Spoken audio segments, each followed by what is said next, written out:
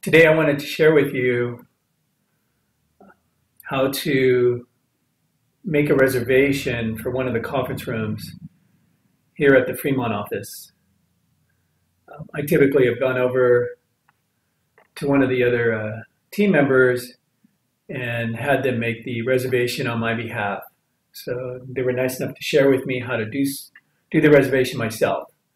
So accordingly, when in the mail, um, feature of Outlook, if you come up here to the new button and click on the little arrow, drop that down, go down to meeting request. It opens up an invite. Go under the To, type in CO for conference.